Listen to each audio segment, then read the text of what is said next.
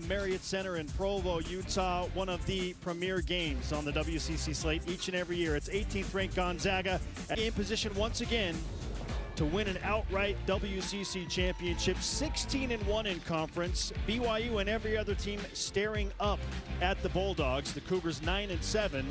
However, BYU can climb to that number three spot you got to take care of business against the top team in the WCC today. Wherever and however you're connected, great to have you with us alongside the former fabulous basketball standout Kristen Kozlowski. I am Spencer Linton.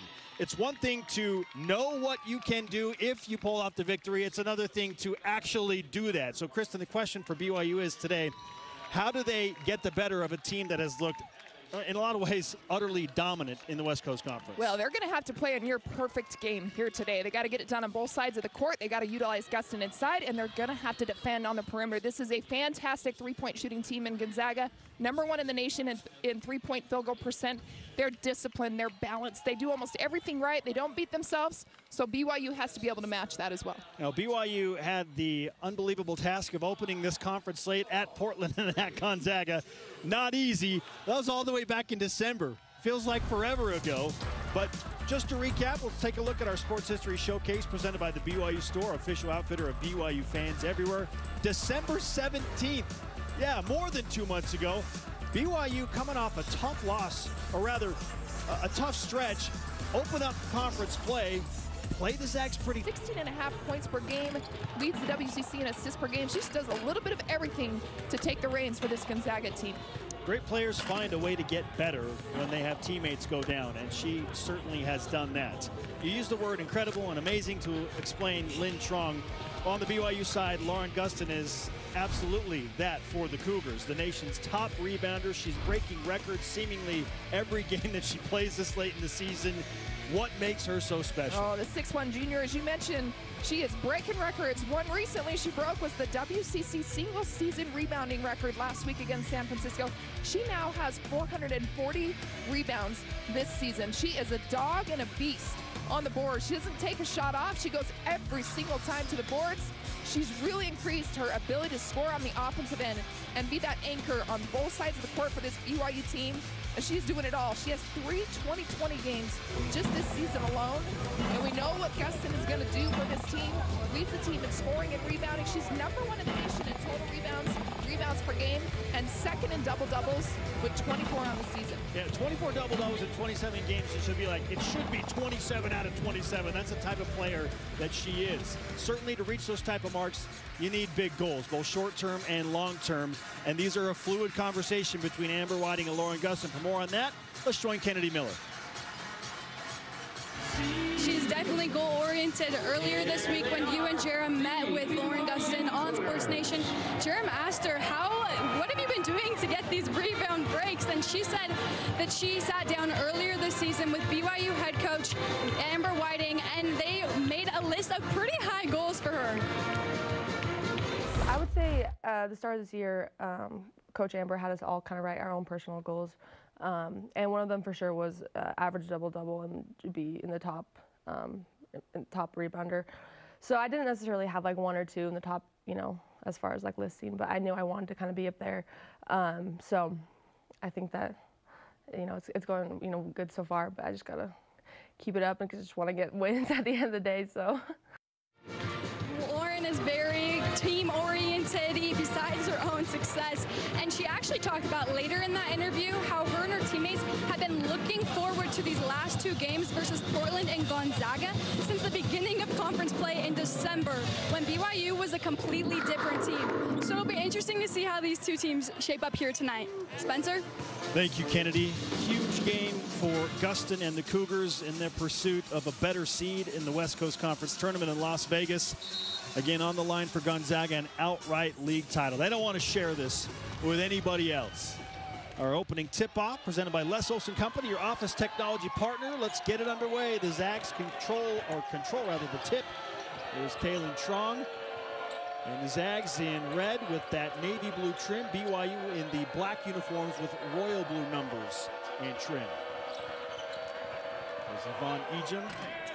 Tries the long jumper, misses it right side. That's tracked down by Ariel Mackey Williams. Our starting lineups presented by Intermountain Healthcare, official medical provider for BYU Athletics. We mentioned Truong and Ejim already. Maxwell, Williams, and Hollingsworth are the other three to round out Lisa Fortier's starting five. BYU basketball now. Falatea, Mackey Williams, Smiler, Calvert, and Gustin.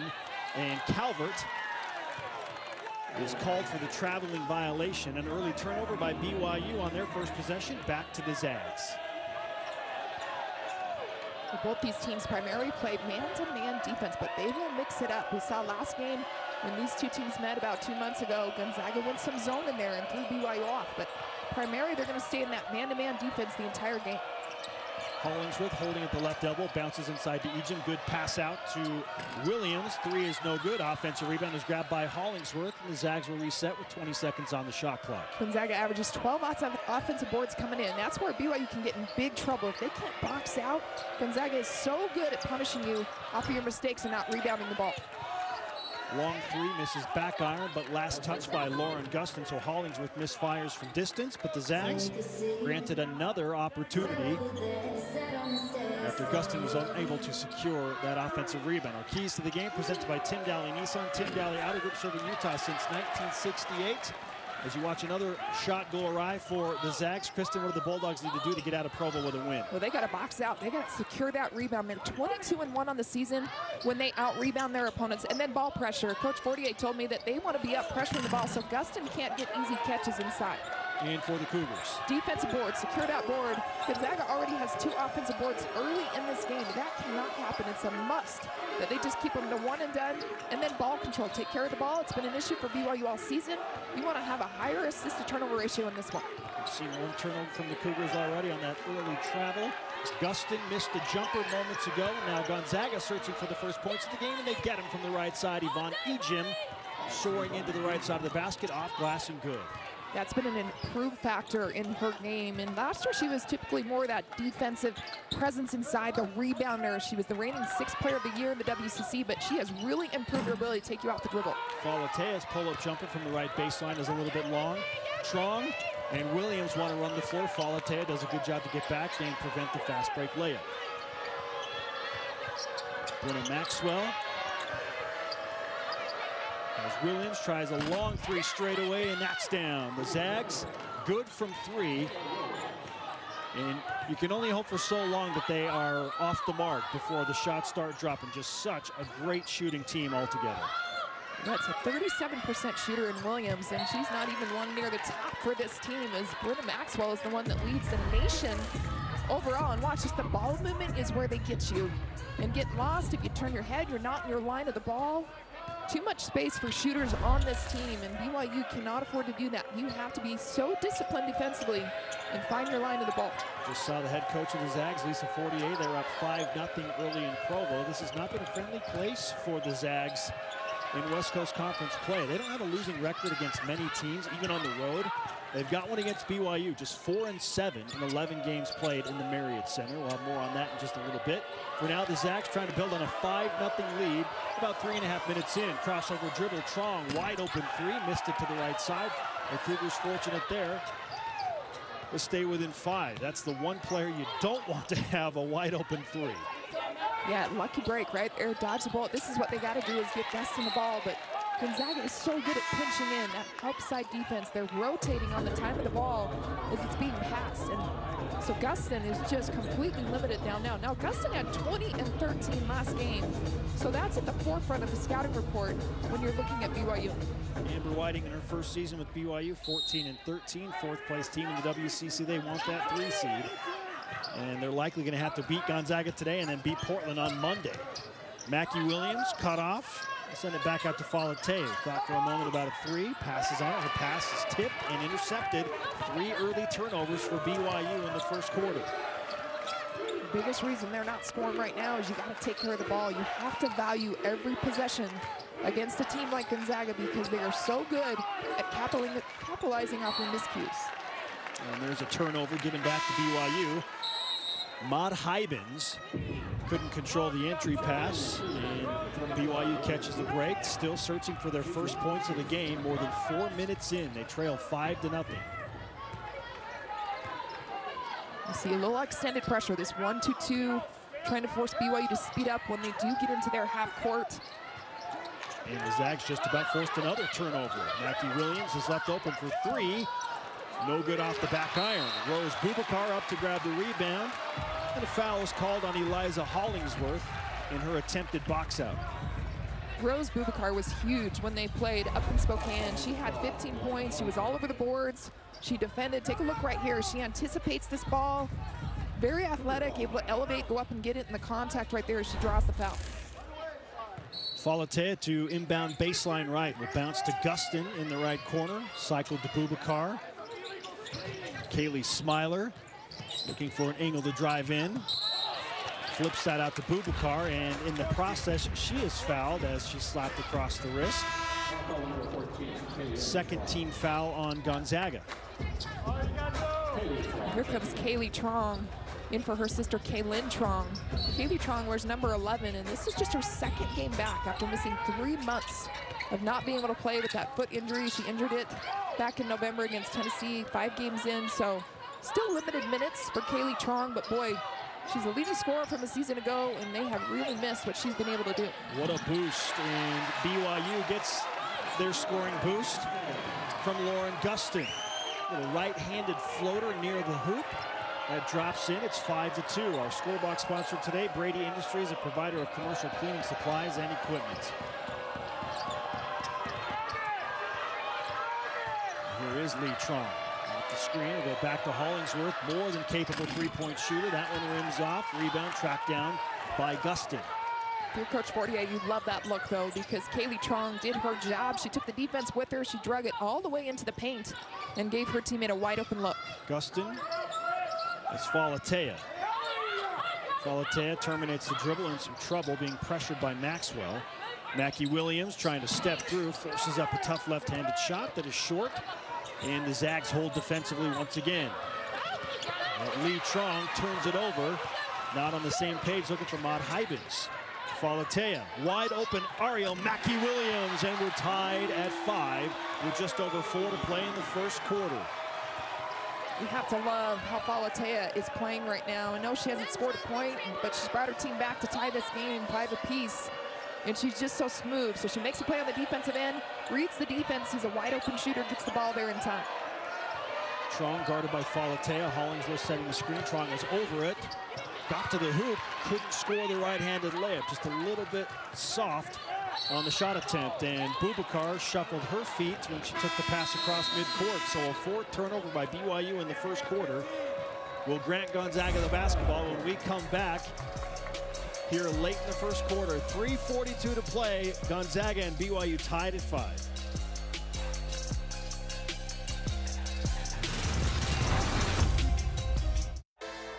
If you're looking to build your brand awareness and increase market share as BYU moves into the Big 12. Dance Mountain Resorts, courtesy of our one of our audio technicians, Scott Sandstrom, an avid skier, and doing a fantastic job showing you just uh, a little bit of the snow that has dumped in the Intermountain West over the past few weeks. Hey, those snow days my kids really love when they wake up and get to play in the snow rather go sit in school. Nice and warm and dry inside the Marriott Center. We're not complaining about it to watch a premier basketball game in the West Coast Conference. Lee Truong for three, no good. Battle for the rebound. And they're going to get Brynna Maxwell on the back of Kaylee Smiler. It'll be her first personal third team foul for Gonzaga. Now with 3.21 to play in the first quarter.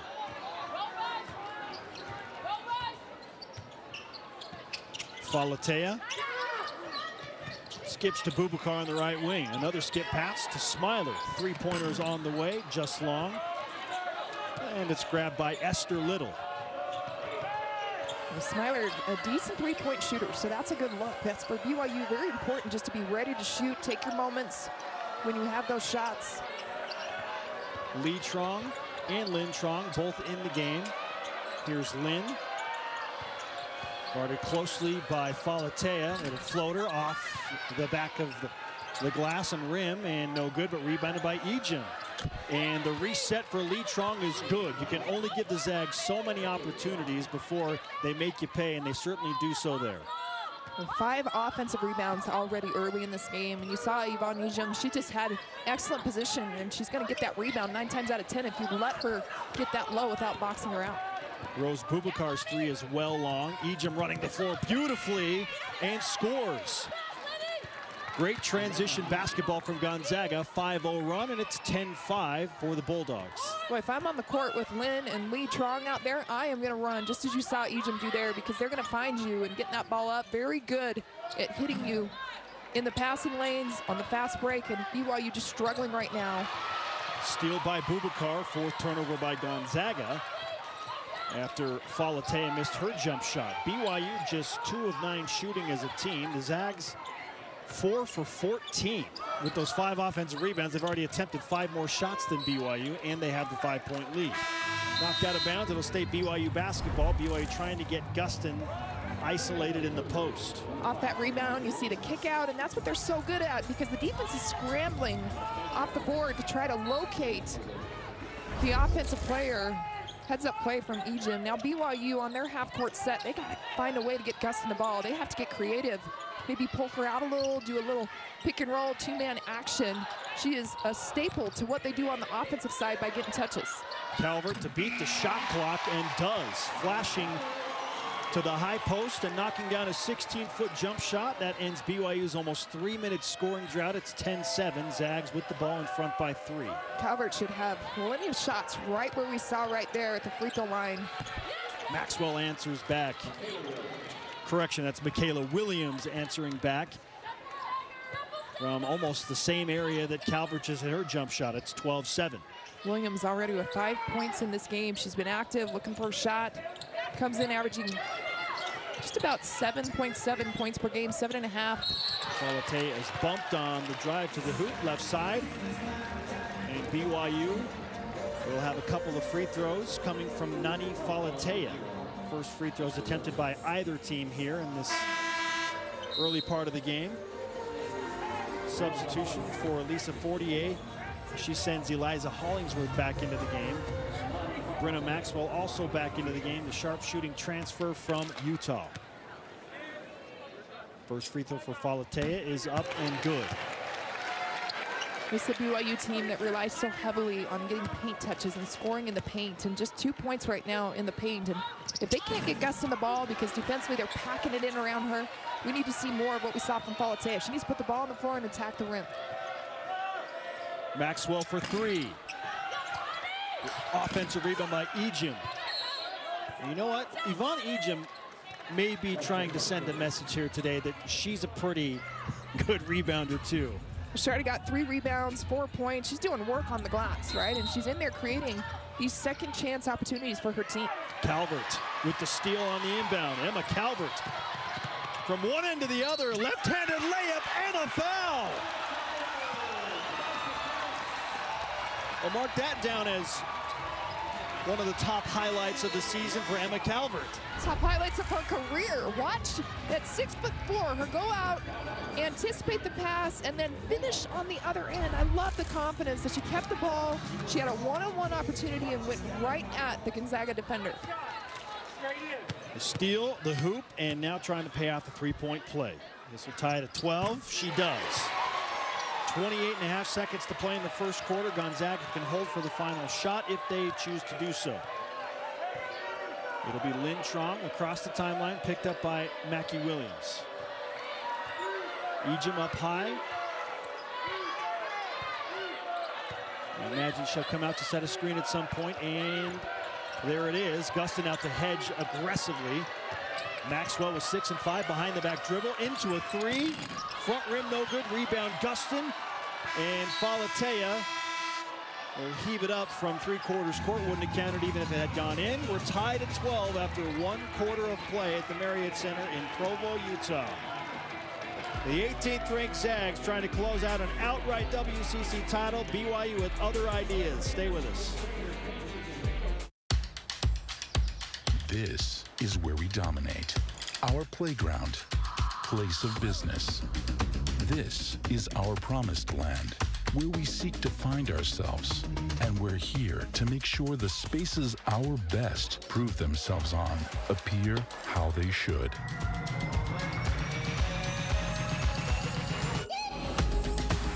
Intermountain Healthcare, official medical provider for BYU Athletics.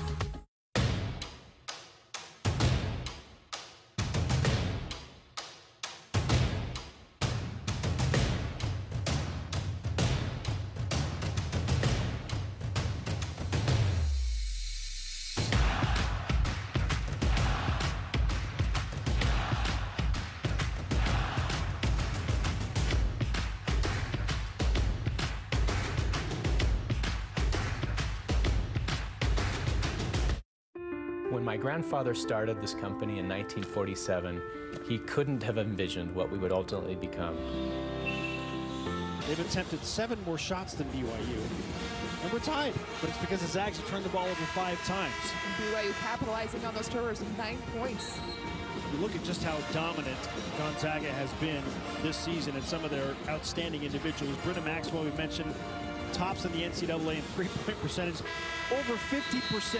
There are a lot of players that can't shoot 50% from the free throw line. She has hit a three-point shot in every single game this season. That helps, obviously, the team overall, the number one in three-point shooting. They're a fantastic free throw shooting team. That's important for BYU to keep them off the line. But so far, BYU has given up two makes on the perimeter from the three-point line, and none of them have come from Maxwell. So they've done a really good job defensively on Maxwell. Zags, not surprisingly, score more points in conference than any other team in the WCC. And that's why they're 16 and 1 in league. And 26 and 3 overall. Lauren Gustin shuffled her feet before she began her move to the hoop. And that's turnover number five for BYU. That's exactly what Lisa Fortier wants from her team. They're going to force Gustin out, make her hit shots outside the paint or put the ball on the floor, that time forcing a turnover. Ejim working on the baseline against Gustin. Oh, what a pass, Yvonne Ejim. That is gorgeous basketball as she finds Huijbens. But and just an awareness, right? As she has hands in her face. I mean, Lauren Gustin keeping those hands right on her. Good defense, with the awareness to see her teammate cutting under the basket. Falatea off the screen from Gustin. They'll leave Gustin open from 20 feet. That's an air ball. Calvert trying to save it in. Mackey Williams tracks it down. BYU with three on the shot clock. Two. Smiler may not know it. She'll get to the rim. No good. Offensive rebound. Lauren Gustin back out to Mackey Williams. BYU resets. Calvert left alone in the post and she scores. Good find from Falatea.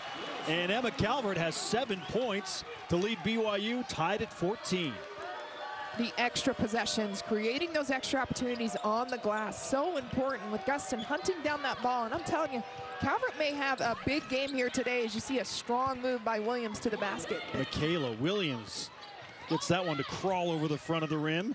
And the Zags back in front by two. Offensively, BYU, there's just so much attention on Gustin inside. Ejim's doing a nice job. Everybody's aware of where Gustin's at when she's posting up. That's going to open up Calvert a little bit more. Skip pass to Smiler. Fakes the three. Out to Calvert for three.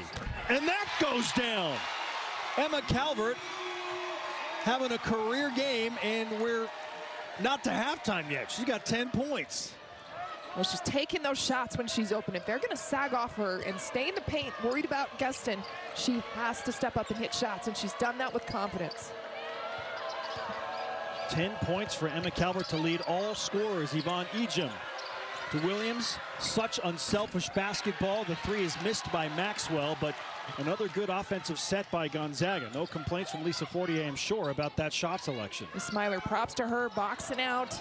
And that's a lazy pass right there. It got tipped, but Calvert's got to be stronger up top. Maxwell for three. No good again. Back rim. It falls into the hands of Huijbens, and she scores the and win. One. A free throw coming for Huijbens as the Zags go back in front by one. Let's check in with Kennedy Miller. Guys, you talked about Emma Calvert's great performance. During that timeout in between those two quarters, Coach Whiting singled her out and was like, congratulations on that. The girls in general, she talked about being disciplined and getting those offensive rebounds. So that's where the emphasis is placed right now for BYU. Guys. Thank you, Kennedy. Three offensive rebounds for BYU, a couple. Bounds. And that's something where I'm sure Amber Whiting also touched on is boxing out, securing the defensive board. Don't give them up those second chance opportunities. 19-17, Smiler to Calvert. She'll try another three. Unbelievable. Emma Calvert is outside of her mind. Feed her the ball right now. When you got a player that's hot and she's confident, she's going to knock those shots down. And that's where BYU needs to get her more involved now in those pick and rolls. As we saw right there, Smiler, beautiful job on the pass.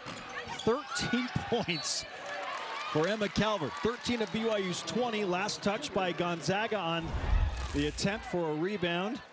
You see Smiler right here. She's taking both defenders with her. And that's exactly what she has to do. She's going to drag the defense and then right back to her shooting Calvert, who was ready, had her feet set, Calvert's five for five from the field, including two three-pointers. She's got an and one and the 13 total points. BYU trying to build on a one-point lead here. Amanda Barcello recently into the game. In the corner, back to Smiler with seven on the shot clock. Smiler to Barcello with four and three. Amanda Barcello gets to the hoop. Players making plays right now for BYU because Gonzaga is so occupied with Gustin and limiting what she's doing. Other players stepping up like Calvert and Barcello, lifting BYU offensively. BYU as a team has connected on their last four shots. They lead by three. Lynn Truong. And as Truong came over the screen from Huijbens, Mackey Williams a little bit too much contact with Huijbens. So Ariel Mackey Williams will pick up the defensive foul. There's another look at Amanda Barcelo with the shot clock winding down. And that's just a smart play right there. She didn't settle for the jump shot. She knew she had a couple extra seconds to put it on the floor, get to the rim, be aggressive. It's exactly what you want out of your team right now is just go out and compete, be aggressive, don't play hesitant and settle.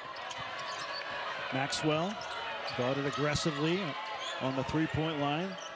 You think BYU has scouted her as a three-point shooter? Absolutely, and they've done an outstanding job. She's 0 for 5 in the game.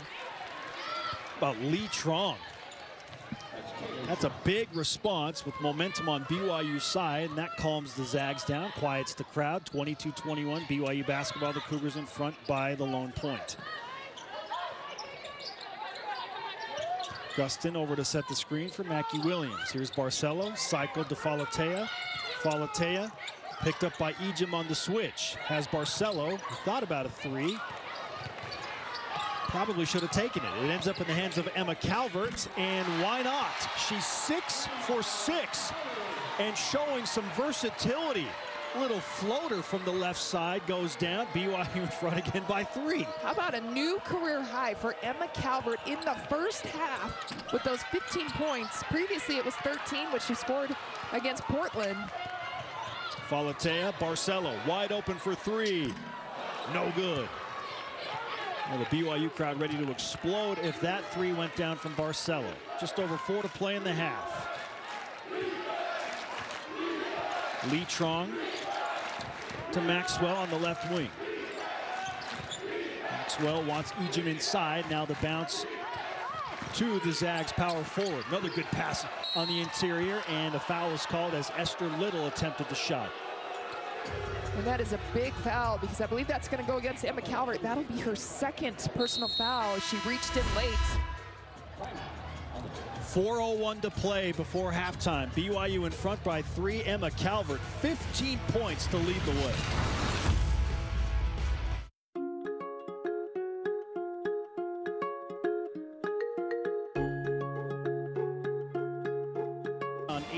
18th ranked Gonzaga, 4.01 to play before halftime. Emma Calvert has a new career high in scoring.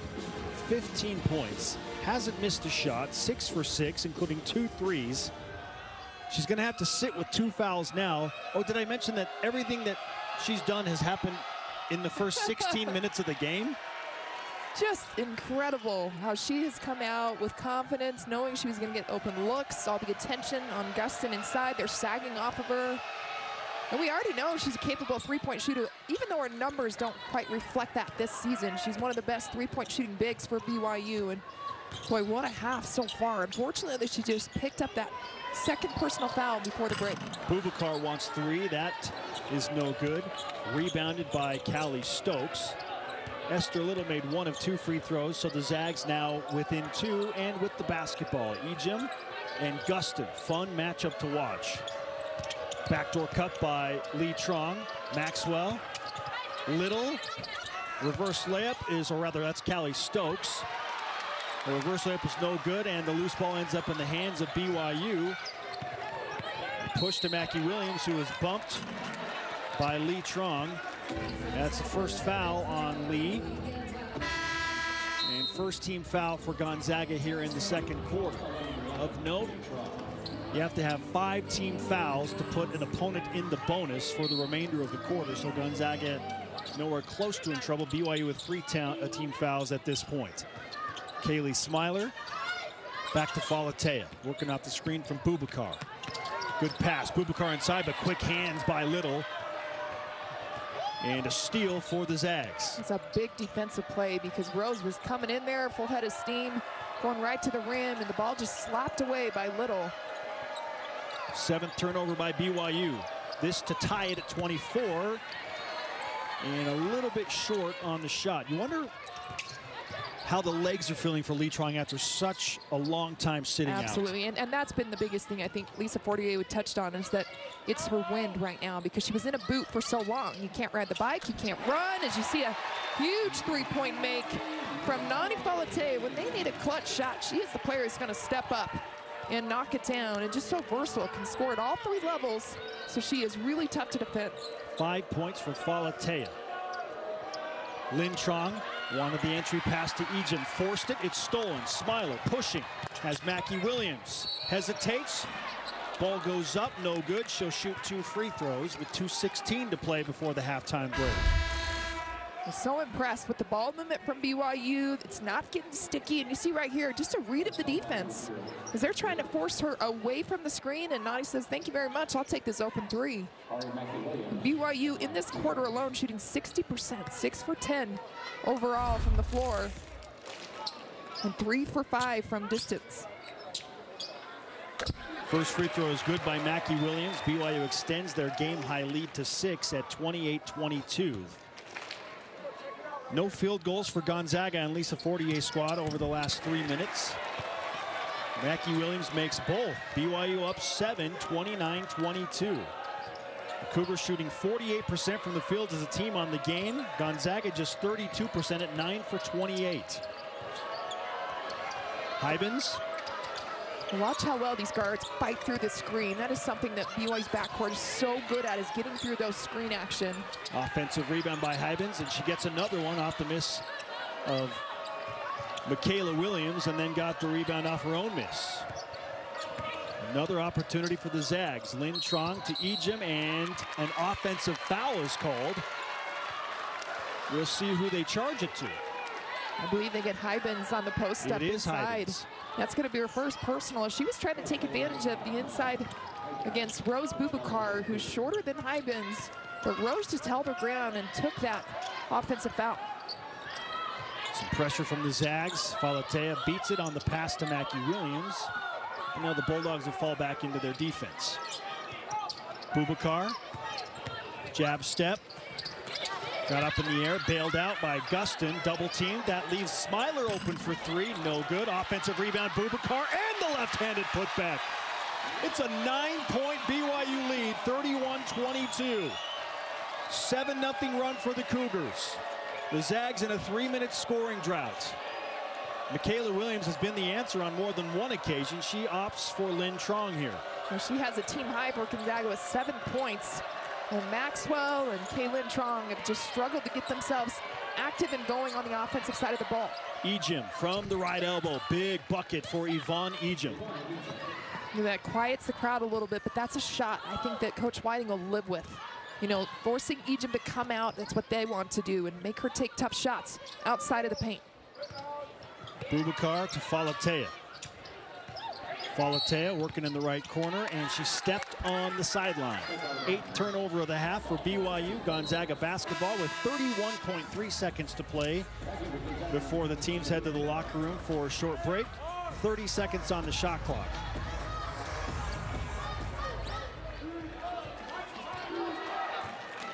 Gonzaga most likely will work this shot clock almost down to zero to prevent BYU from having another shot opportunity. Again, the game clock about a second longer than the shot clock. There's McKayla Williams, guarded by Gustin. Maxwell. Mismatch inside. We've got Falatea on Ejim. Maxwell in trouble. Three on the shot clock, two and one. And she got it off the glass and a foul. Well, I think the officials are going to talk about this, but because the high official So- not agree. Watch this. I mean, Maxwell, just the heads up, relentless play to get to the rim, knowing the clock's going down. Now, there are a couple things at play. Does the shot clock expire before the ball is out of her hand, or was the foul committed before the shot clock expired? How, how does that all work? There, there's Well, so if- many moving parts here. If you watch it release from her hand, I think she got it off in time. I, I do think she released it before you saw the back of the backboard light up. And the official did just signal again, count the basket. It was good, but they will review this. This will be the first points for Maxwell. And she has had a tough go with the first half. Yeah, just one for six shooting.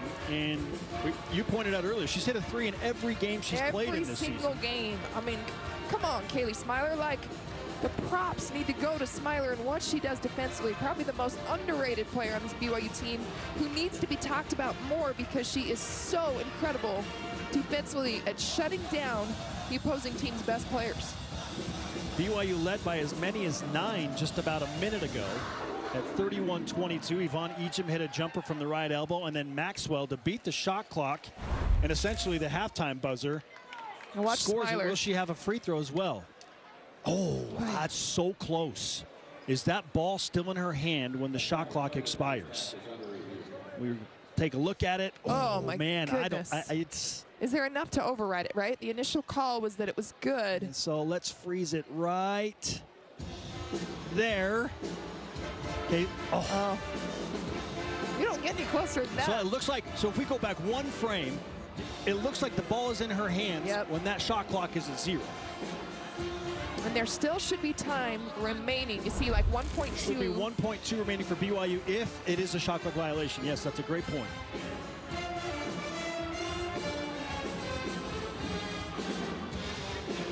Oh, so they're going to count it. Wow. Wow. This this is a little bit surprising because I thought we saw clear evidence that that ball is still in her hands when that shot clock hits zero. Yeah, from our vantage point, from what we were re-looking at, it looked like it was still in her fingertips. Well, mark this down as an absolutely massive play. Now they're going to come back and look at it again one more time. And this may be just adjusting the clock. And now that they've agreed that the foul did occur, that she got the shot off, they're giving her one shot, but now they're looking at the clock to see how much time is left. Well, Kristen, if this game is decided by a couple of points, and let's say Oh. it goes in Gonzaga's favor, then you can We're gonna rewind back to this that. moment. Here it is, one more time. And freeze, It's still in her hand with one second. and the shot clock. Okay, so again, we. Well, she makes That the free throw, three-point play, 1.4 on the clock. So BYU is going to have a heave here. Falatea from just beyond half court lets it go, and it misses left side. Uh, the Cougars led by nine moments ago. It's now just a four-point lead as they go into the halftime locker room, and a totally different feel for Gonzaga, rattling off five points after their offensive struggles in the second quarter. For BYU, I just thought they played a solid first half. That's a hard way to go into the half, giving up a three-point play at the very end. And such a close call, right, with that angle and trying to see if it made it in time. But heads up by Brynna Maxwell. Kennedy, Kennedy Miller is with Amber Whiting, the BYU head coach. Coach, obviously, Gonzaga started off really hot with that 5-0 start, but you guys were able to combat that in the second quarter. What allowed you to do that? Uh, my girls just displayed a lot of grit, a lot of toughness, because they know they're going to go on a run, and this isn't a 20-minute game, it's a 40-minute game, so we got to play. And Emma Calvert, obviously an insane career-high points in just the first half. What allowed her to be so successful? Um, she's just taking what's given her, and she's shooting the ball really well, so that's a good thing, and I hope she keeps it up. Me too. Thanks, Coach. Thank you, Kennedy, and our thanks to Coach Whiting. BYU with a four-point lead. 15-minute break in Provo as the Zags try and wrap up a conference championship with upset-minded BYU standing in the way. We'll be back with more West Coast Conference women's basketball in your halftime report right after this.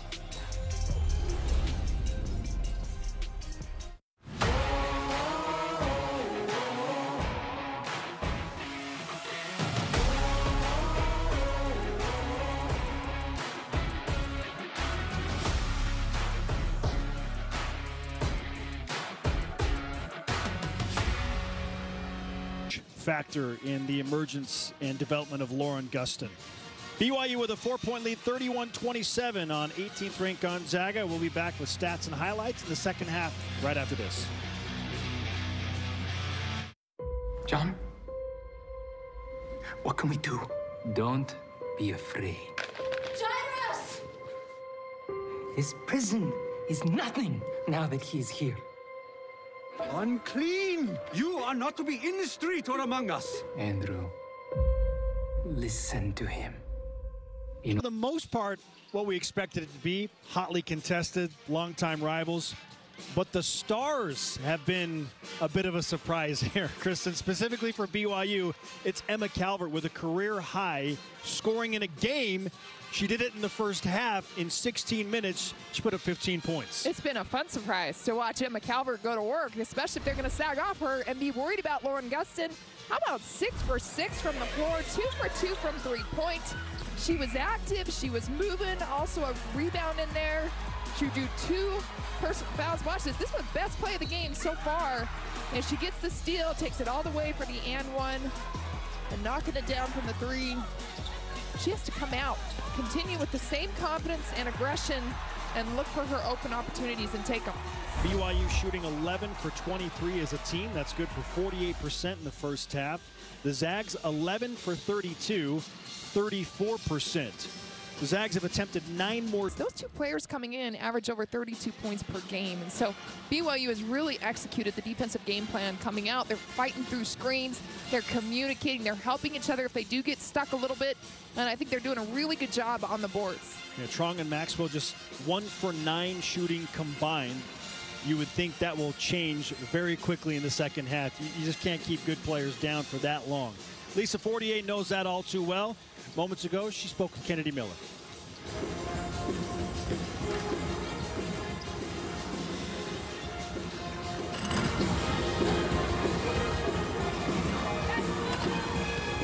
Obviously, um, but the rest of them, I think we're battling. Coach, just violent trailing going into that half, what are some positives you took away from your team from this first half? Well, I think we were battling on defense, so we did not do a good job defending Calvert, obviously. Um, but the rest of them, I think we were battling. I think we were battling Gustin around the glass. That's just a hard job to do for the entirety of the game, and it's something we have to continue with. BYU definitely found themselves coming out of that half. How do you combat that going into the second half? Um, I would say with defensive energy and intensity, we got to get ourselves out and transition a little bit. I don't think we've executed very well in the half court, and they're tough because they, they, they get through screens, screens so quickly. But our, our players have to be ready to score when the ball comes to them. I think we're a little hesitant right now, and that's not helping our cause. Thank you so much, Coach. Thanks. Coach Fortier, always gracious, uh, just an icon in West Coast Conference basketball, has done an incredible job with that program and has done so with Craig Fortier, her husband on the bench with her, which I think is uh, one of the more enjoyable and cooler dynamics of any bench in the West Coast Conference. All of her assistants. You've got Craig Fortier, Stacy Clinesmith, Jordan Green. All of her assistants have stayed with her for all 10 years, and that says a lot about Lisa Fortier and who she is, the loyalty to her. And her players don't transfer often. In her 10th season, she's won seven WCC regular season championships, including this year, where they've already clinched at least a share. And they're looking to get this game where they can win it outright if they're able to beat BYU on their home court. Gonzaga ended the half on a 5-0 run. I have some details about what looked like a little bit of a controversial call there that we can explain in just a moment. BYU basketball. Emma Calvert back in the game, had to sit the last four minutes of the second quarter with those two fouls after she scored 15 points. Falatea skips to Mackey Williams. Mackey Williams drives inside and parks through those red jerseys to score the left-handed layup. Yeah, I thought she had an open look on the outside where she hesitated, but she does have that ability to put the ball on the floor, create, get to the rim, as we saw right there, a higher percentage shot as she got to the left side. McKayla Williams, solid first half for Gonzaga. Seven points. She's cut off by Falatea at the right elbow. Back to Lynn Truong. Six seconds on the shot clock. Truong. Contact. Ball is lodged in between the rim and the backboard. And Caitlin Truong will have two free throws. Where's Rose Bubakar? Rose Bubakar can go up and get that ball. Now watch right here as that controversial call going into the half. Did she get it off in time? So what I was told is that when the foul is committed, the game clock and the shot clock are both supposed to stop simultaneously. So if the foul is committed with one second on the shot clock, it's supposed to stop right there. So the one should have been stopped with the 1.4 on the clock as well. And then the act of shooting is allowed to continue through. So not a controversy if the foul and the whistle blows before that shot clock expires, which the officials said it did. She paid off a three-point play, huge turn of events. And now here we are with BYU leading 33-28, five-point lead, led by as many as nine late in the first half. Mackey Williams creates a wide open three attempt for Falatea, missed it long. Ejim collects on the baseline, and she has Lynn Truong. Outstanding open look, though, if you're BYU and you're getting that drive penetration, you're getting the defense to suck in, and an open look from Falatea. Maxwell scored that and one just before half. Ejim inside. Nice high-low play right there from Gonzaga, and they're within three. BYU getting stuck in a one-on-one right there with Ejim, and it's that lob pass. They're so good sealing their defender, allowing that lob pass to come in. With a skip pass to Mackey Williams, who tries a three. That's long. Mackey Williams chases it down, but Truong spins out of trouble, looking to lead the break. Lisa Fortier signaling to her point guard now. We want to run, get up. Let's get that ball going and put some pressure on BYU. Try to get something easier in transition. Maxwell. Ball is loose. Smiler harassing her defensively. And you spoke about it a few minutes ago, Kristen. Kaylee Smiler is such a pest defensively and is typically put on her opponents or the team that she faces their best shooter, their best player. Right now, Mackey Williams has the assignment on Maxwell, and Smiler is on Lynn Truong. Maxwell has an opening for three, cannot find the mark.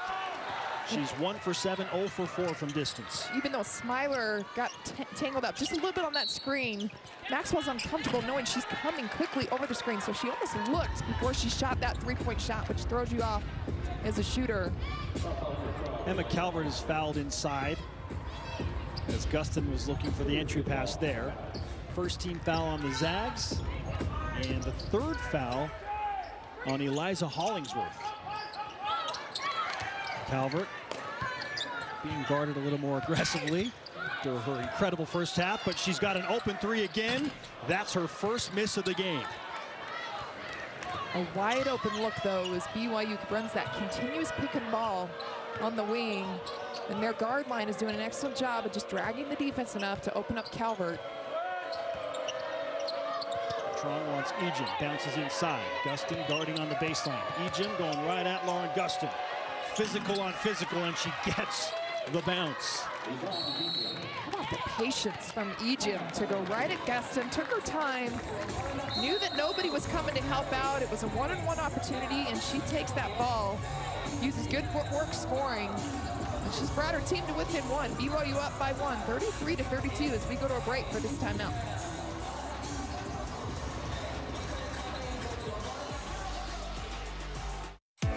Promos helps BYU build the Cougar brand with customized postseason basketball tournament.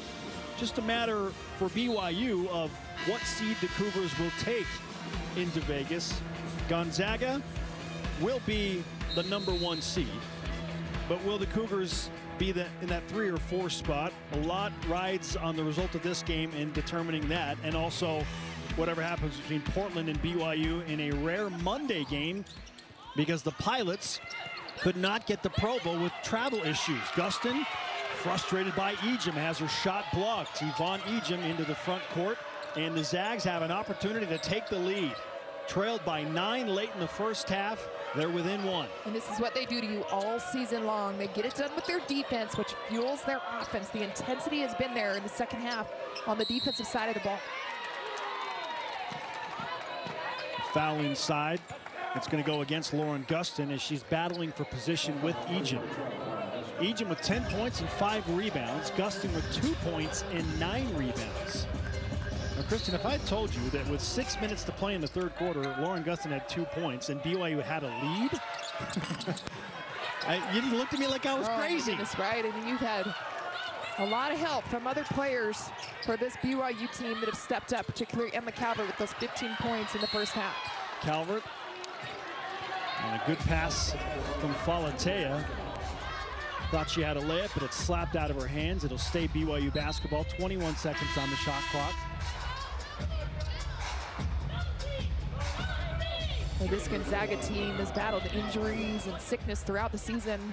Yeah, a handful of games where they only had seven players available to play, but they're finally getting healthy and getting their players back with that depth. McKayla Williams with the steal and score. Gonzaga back in front. Going back to the late part of the second quarter, the Zags are on a 12 to 3 run. Calvert's pass inside. Gustin not even looking in the general direction of that pass. And a turnover for the Cougars as the Zags in transition. Missed three. Huijbens offensive rebound. Gonzaga having their way on the offensive glass as well against BYU. Lee Truong spinning, can't score it. Falatea with the rebound, running with numbers. It's four on two. Smiler in for three.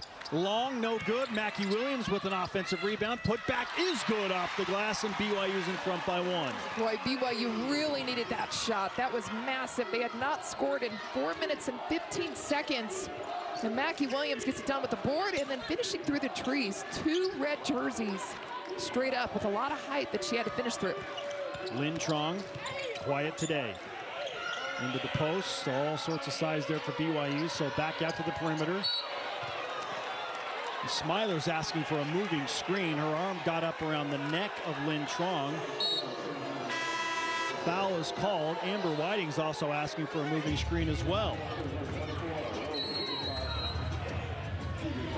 A timeout on the floor. 35-34. BYU in front by one. Don't go anywhere.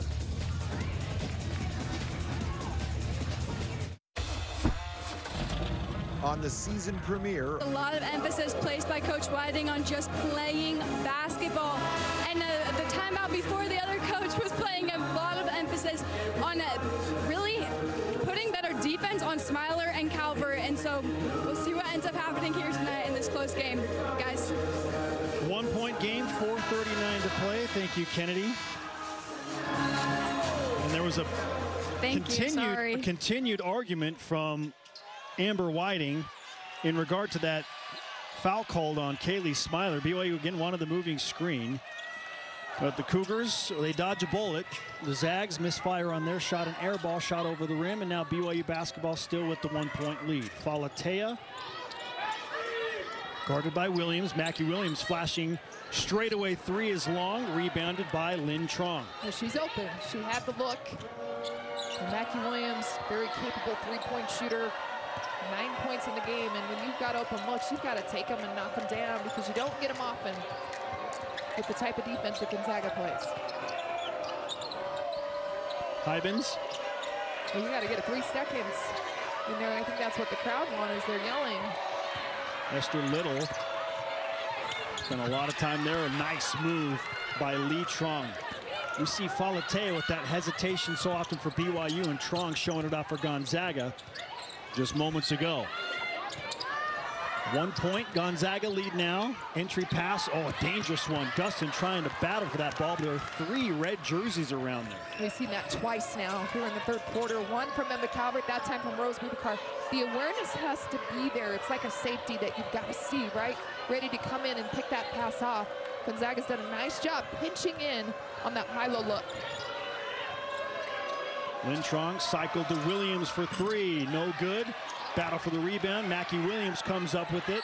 And Mackey Williams is fouled by Esther Little.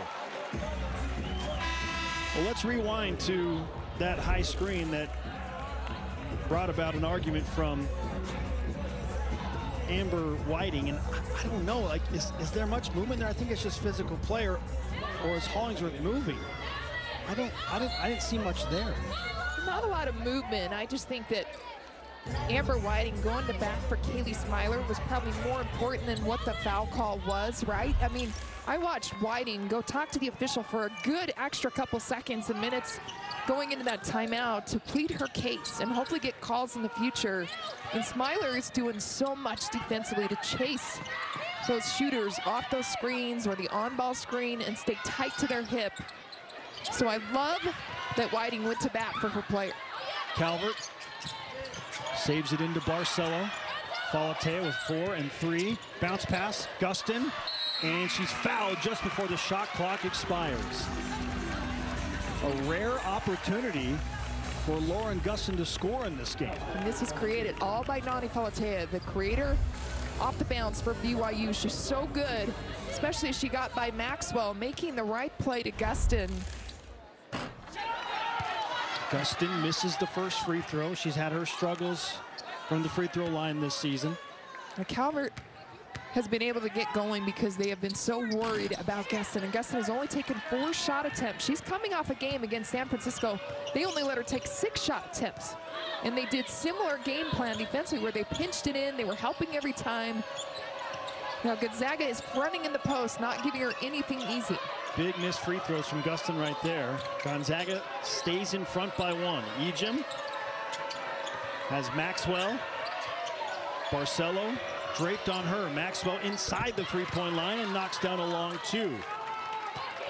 That's where Maxwell can have a little more success is coming off that screen, looking for the pull-up jumper in the mid-range because BYU is really trying to keep her off of the perimeter and run her off the three. Falatea terminates the dribble at the elbow, now to Smiler. Nothing doing for Gustin inside. Calvert back to Falatea with six on the shot clock. Falatea for three off the screen. That one rims off. And the rebound grabbed by Lin Truong, looking to run. Picked up by Smiler. Ejim cycles to Lee Truong. Maxwell. Nothing for Hollingsworth inside. Three is missed badly right side, but another offensive rebound for the Zags, and they'll reset again. Hollingsworth back out to Lynn Truong. That offensive rebound mark is a growing concern for the BYU bench.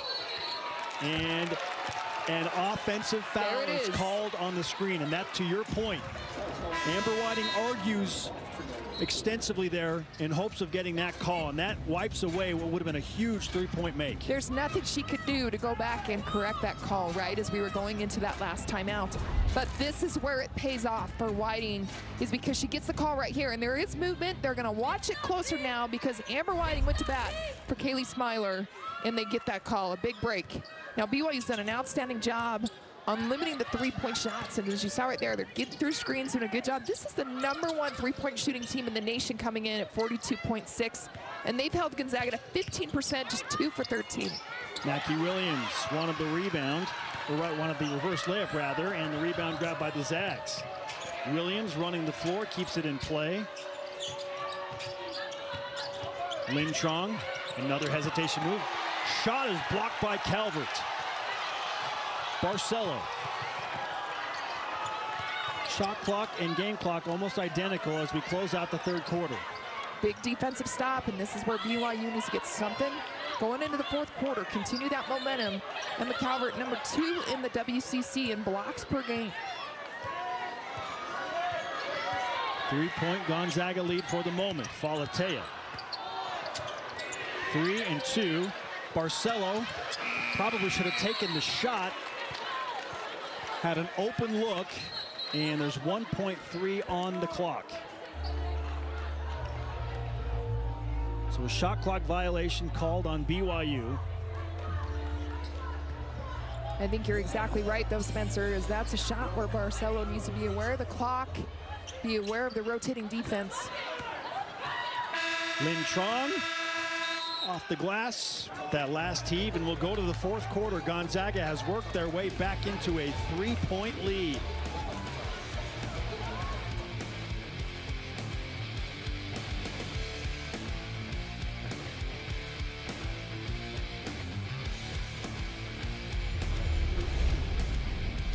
Moving your family doesn't have to be stressful. Not when you use Bailey's Moving and Obviously, a huge fourth quarter ahead between Gonzaga and BYU on the women's side. Then the San Francisco Dons will match up with BYU on the men's side. Join us for our pregame show beginning at 9 Eastern. Our impact players, Kristen, how about this? Oh, Kaylynne Truong, one goodness. point. Lauren Gustin, two points. I don't think anyone anticipated that. With just 10 minutes to play. Gustin spinning has Calvert.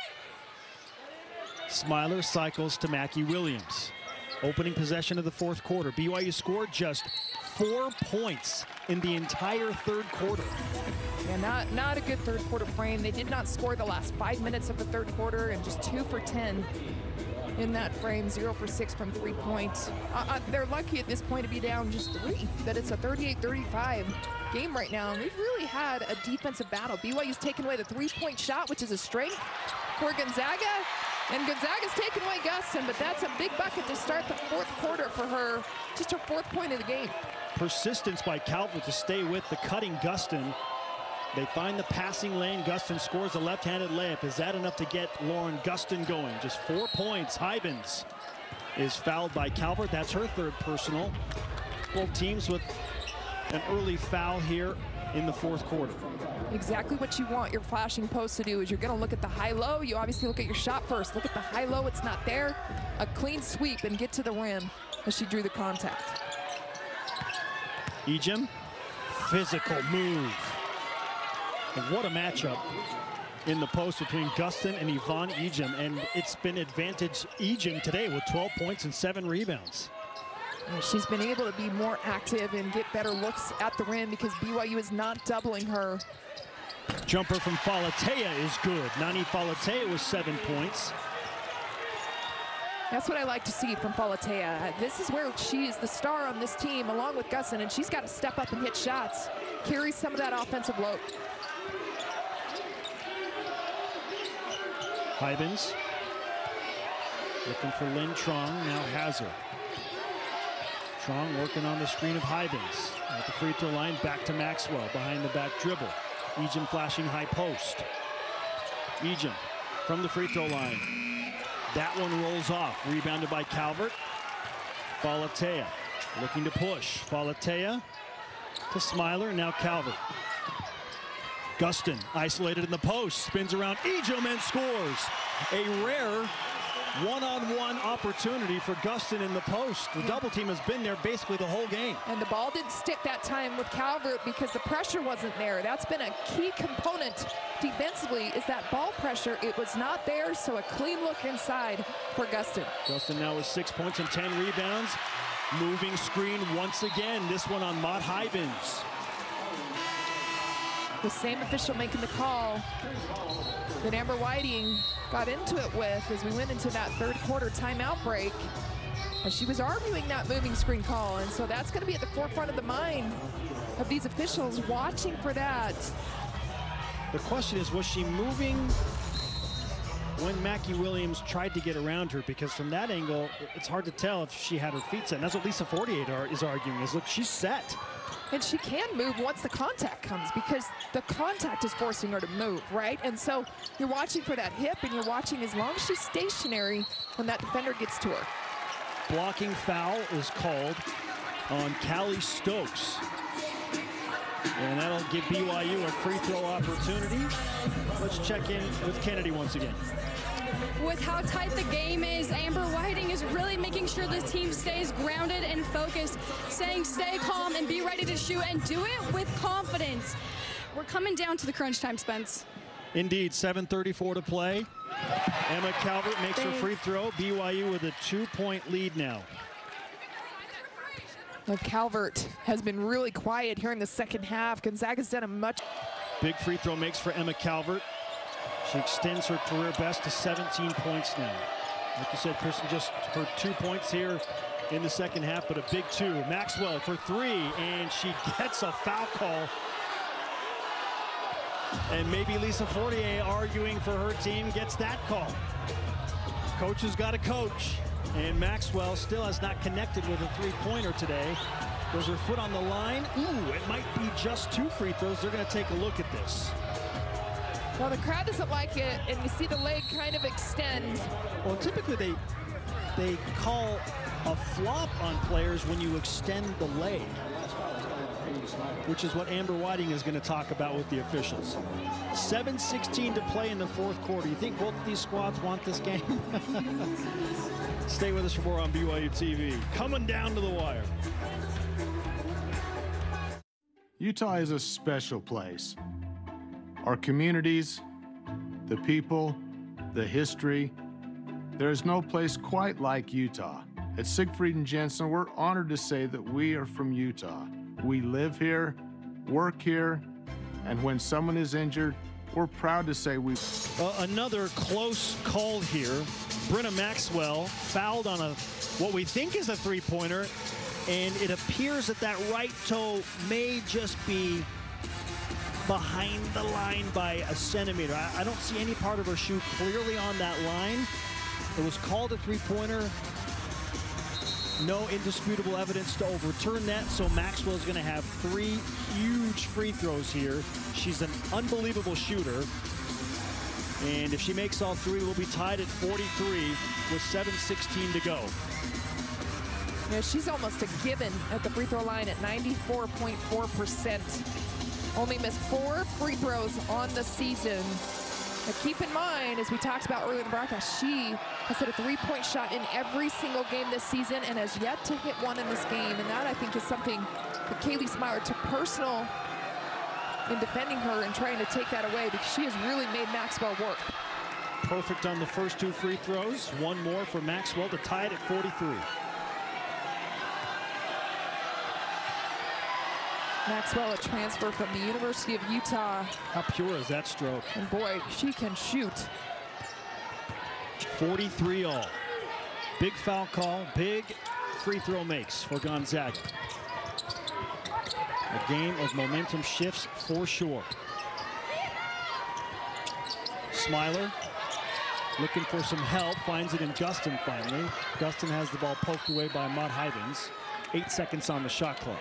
That extended pressure is really wreaking havoc right now for BYU because they're picking up their dribble and they're standing straight up rather than at least keeping your balance and being able to make a good pass. Falatea being pressured, jump ball, and the possession arrow in favor of Gonzaga. Empty possession for BYU.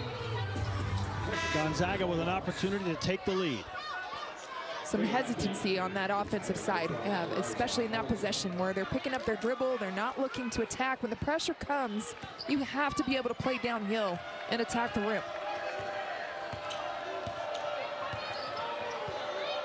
Lin Truong, just the one point today, averaging 16 a game.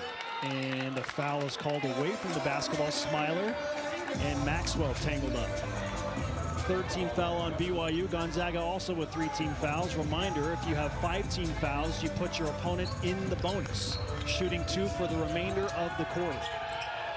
Now this is a Gonzaga team you do not want to put on the line because they are an excellent free throw shooting team at 78.9%.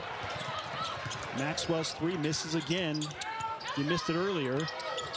Since BYU and Gonzaga got into the same conference, the Zags just four and seven in Provo all time. Well, a quick whistle on the jump ball right there. It does stay with BYU. The double team came as they were trying to take away that lob pass and Gustin trying to rip it to go up, but the whistle did come early. Smiler, big three on the way, and that one rims off. Both teams having trouble finding the mark from beyond the arc.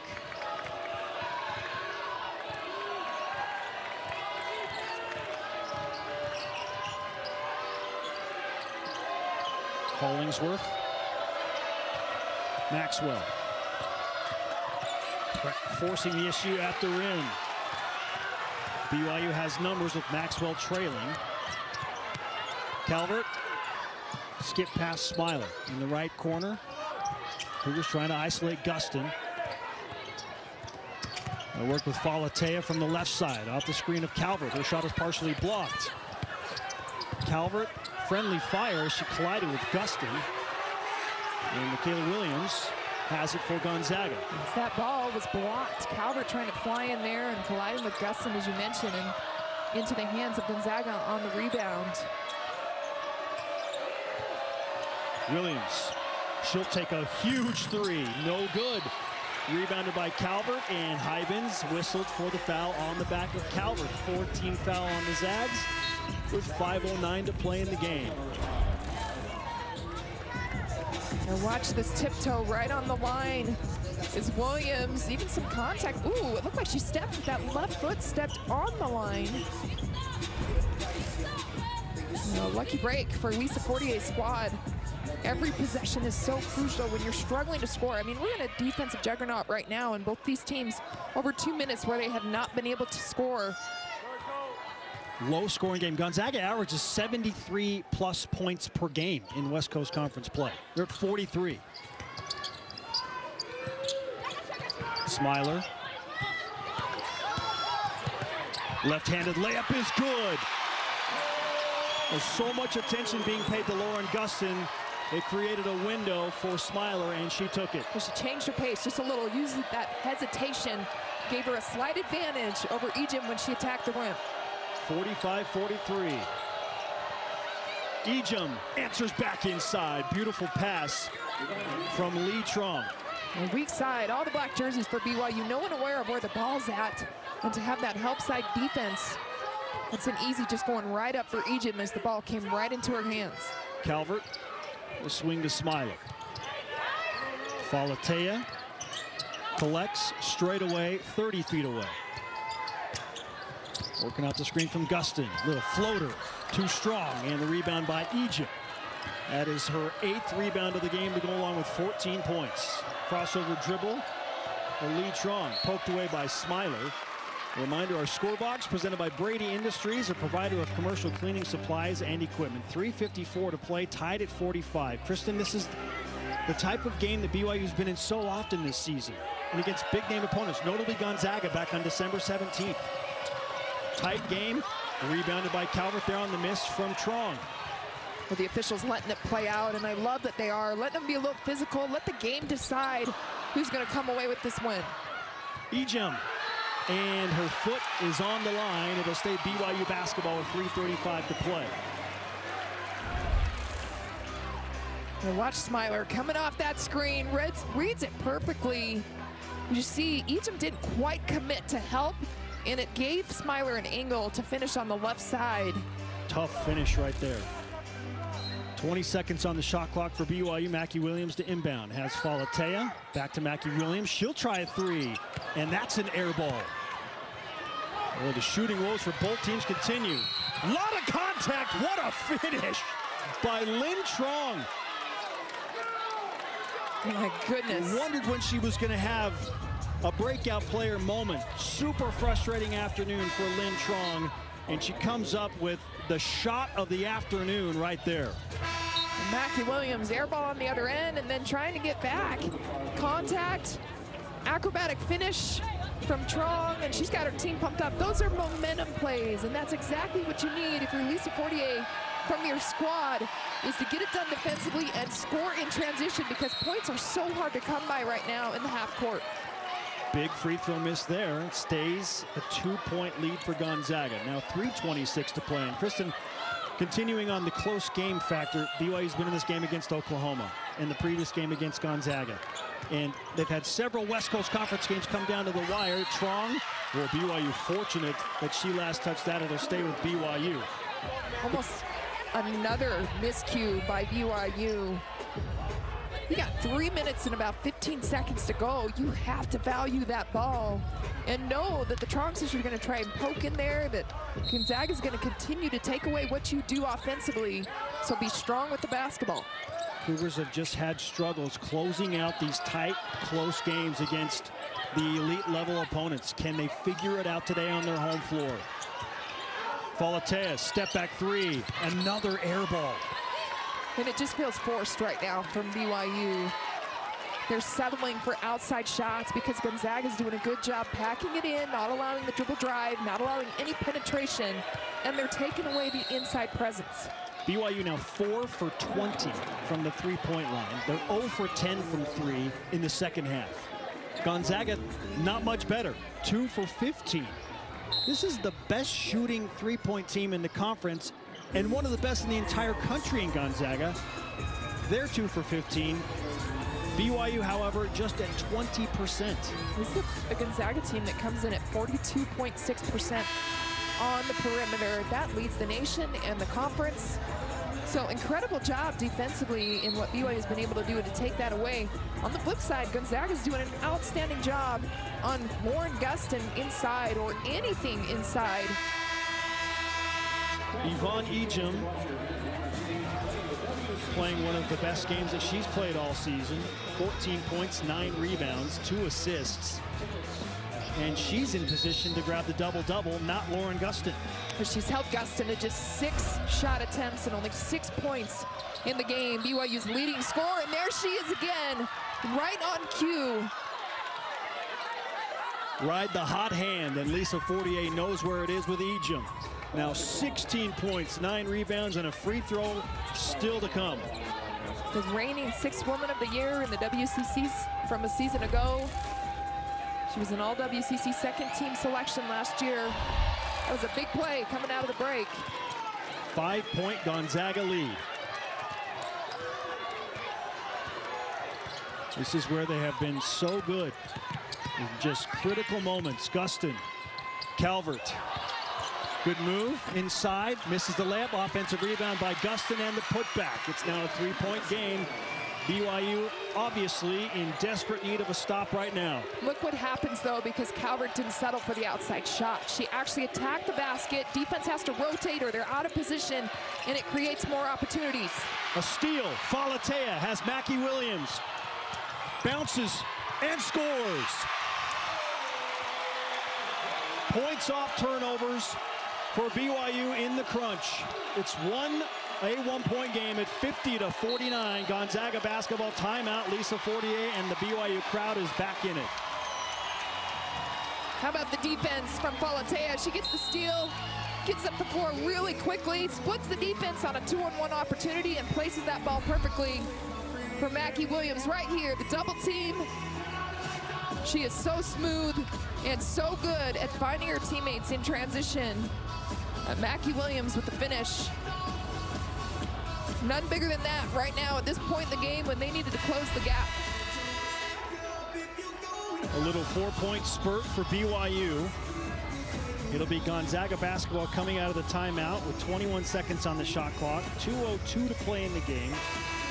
BYU has committed five team fouls this quarter, so every foul that goes against BYU will result in two free throws for the Zags. One more foul for Gonzaga will put BYU in the two-shot bonus as well.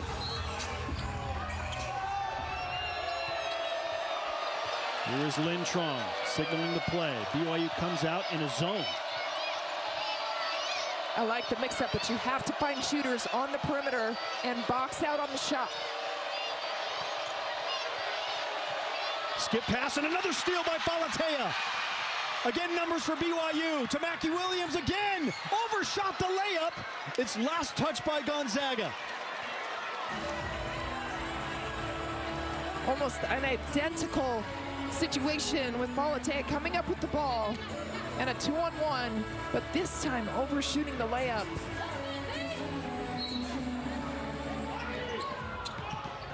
A little too heavy off the glass.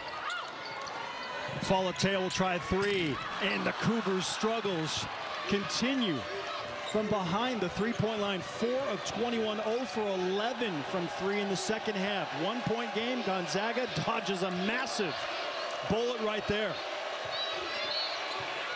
And a foul is called on Mackey Williams. Double bonus, Zags going to the free throw line. Got to put Kaylynne Truong on the line. Was it committed against Truong or was it committed against Hollingsworth who set the screen? And, the, and Truong is lining up Yeah, it was two. Smiler. So Smiler was the, or excuse me, Mackey Williams was the one that fouled Kaylynne Truong. So Kaylynne on the line with just three points in this game. She comes in leading this team at 16.4 points per game. And BYU's been fantastic on her, especially when she comes off the pick and roll. It's staying tight. And watch right here. Oh, yeah, oh, yeah right in the right on the chin. Yep. Second free official. throw is up and good as well. Two big free throw makes for Kaylynne Truong. She's got five points. And Gonzaga pushes the lead back out to three. What a turn of events right there. BYU has another steal. They have a fast break layup. If they make it, they go in front by one. It's missed. Cougars miss a three after that. And now Gonzaga's fouled and makes two free throws. Really could have gone either way as it just barely bounced too hard off of the backboard with Mackey Williams in that fast break situation. Look, a three-point game. There's still a good amount of time left. A minute 17 remaining. But BYU cannot afford to settle right now. They don't need a three-point shot. They do not need a three unless you are wide open and you have a really good look. I think you attack the basket because they've had success with their guards, particularly Falatea or Ariel Mackey Williams at getting to the rim.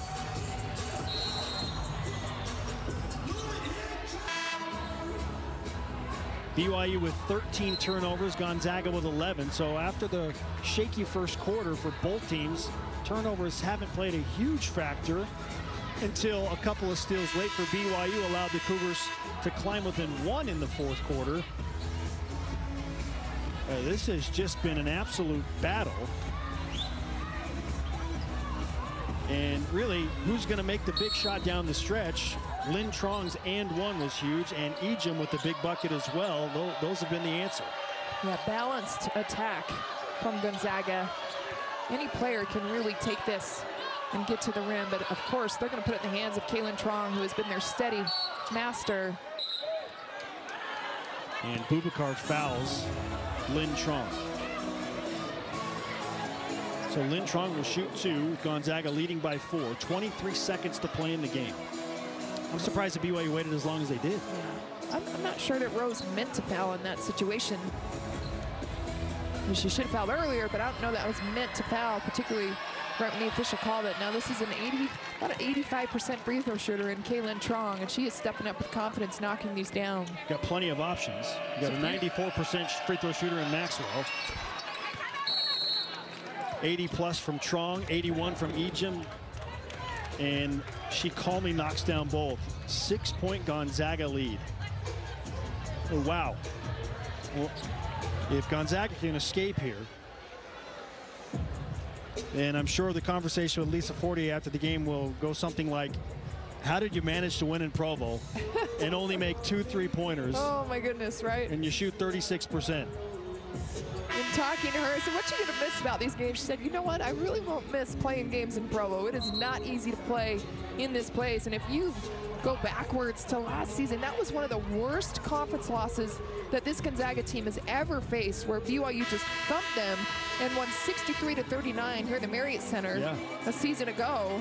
So a little bit of revenge on their mind, knowing that this is a strong BYU team. They're gonna leave a statement as their last trip to Provo with BYU moving to the Big 12. Gustin takes the inbound. Mackey Williams. BYU's got to move quickly. Smiler fouled with 18.2 to play. So two free throws coming for Kaylee Smiler.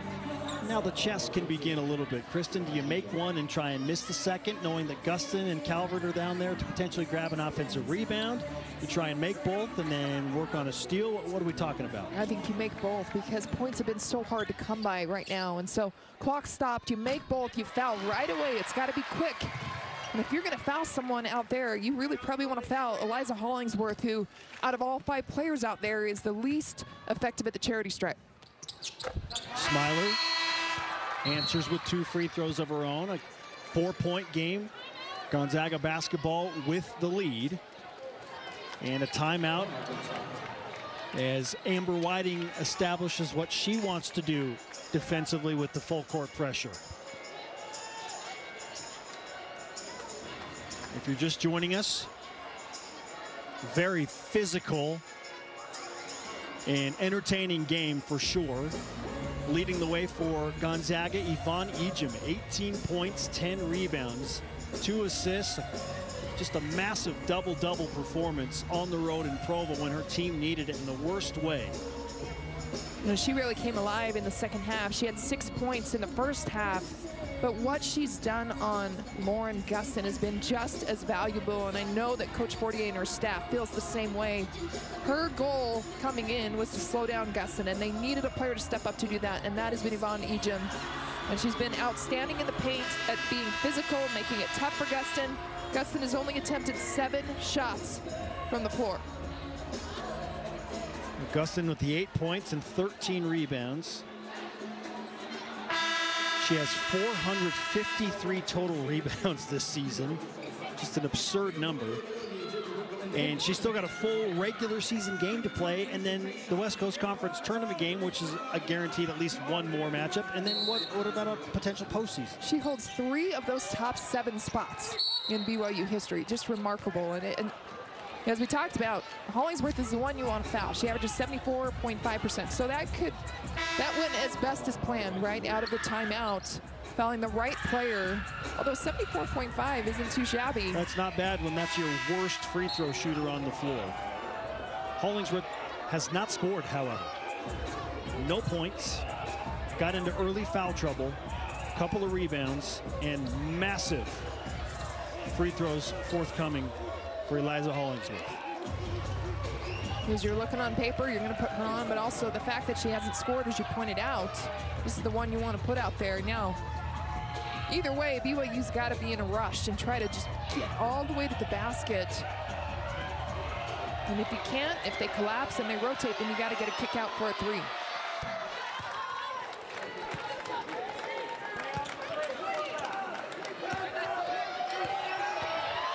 Hollingsworth knocks in both. How about Clutch stepping up, big time free throws to help extend this lead. The 6'3 junior 17.7 to play, six point Gonzaga lead, BYU basketball. Kennedy Miller, what'd you hear from the BYU huddle? Yeah, as you said, Spencer, there's only 17 seconds left in this game, and Coach Whiting really just placed an emphasis on getting those steals. She's like, you guys can get fouls and shots later, but the first thing to do in order to pull out this win is to get the steal. So that's what they're gonna have to do, guys. Well, if it were another team, you might like BYU's chances. There are just too many veteran players on the Gonzaga side to think that they're going to have this type of meltdown. They just don't do this, Kristen.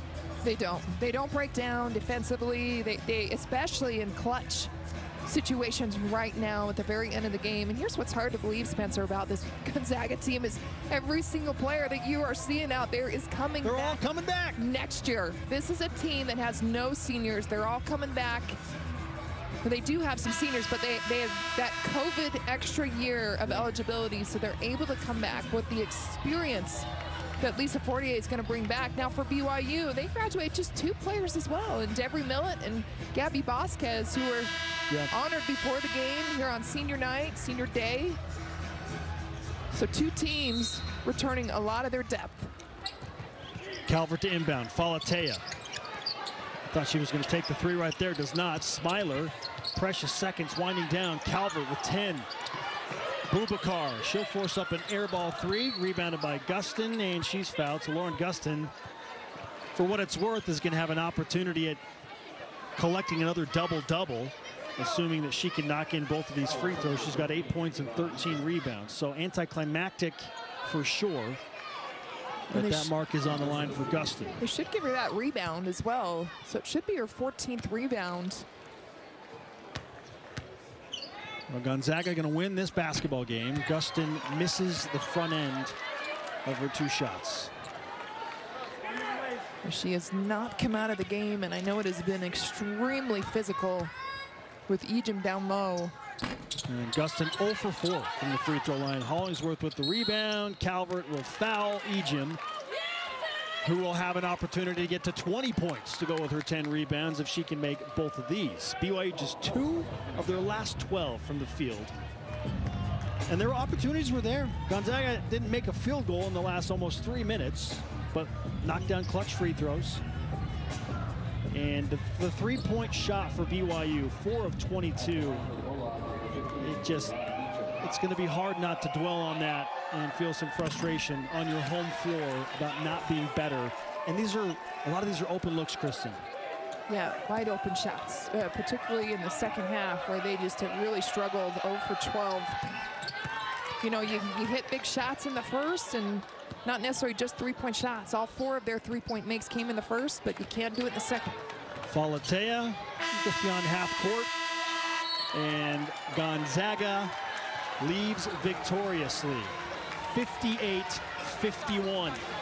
They lock in an outright West Coast Conference championship. 17 and 1 on the season. A top 20 team, and they will ride a huge wave of confidence into the West Coast Conference tournament in Las Vegas. They've got a lengthy break, Kristen. They don't have to play for nine days. Much needed, I'm sure, just to make sure everyone's healthy coming in. The depth is now there with some players back. They look sharp. I mean, they, no doubt BYU had some moments where they were able to stop them and some scoring droughts for Gonzaga, but when the game's on the line at the very end of the game, players make plays, and Gonzaga was able to do that, especially with Yvonne Ejim, who is huge for this team in what she did on both sides of the ball. Well, that image pretty much says it all. BYU and their players will recognize the fans that showed up to support them. But ultimately, they have to settle for a seven-point home loss. Gonzaga finishes 20 of 55, BYU 19 of 51. Three-point woes on both sides. Zags win the rebounding battle by seven. And again, the outright West Coast Conference champions with a nine-day break before they'll take the floor again at the Orleans Arena in Las Vegas. Our play of the game brought to you by eAssist Dental Health Education Foundation, reminding you dental cleanings are essential for your health. And here is Gonzaga with Brynna Maxwell with the play clock and shot clock, or rather the shot clock winding down, the halftime clock winding down. This kind of felt like a, a huge turning point late in the first half. BYU was up seven, if that shot doesn't go in and she didn't make that free throw, BYU's got a seven-point lead going into the halftime locker room. Instead, it's just four, and there's that momentum boost given to the Zags. Could have given it to Lynn Truong for her and one as well. Absolutely. incredible layup. Yeah, uh, multiple plays that were down the stretch Gonzaga made, but I do think, I agree with you, that that was a momentum booster going into the half and kind of signaled how they were going to come out the next half, which is what we saw. They were playing on attack. They were more aggressive. The guards were looking to turn the corner off of the pick and roll action.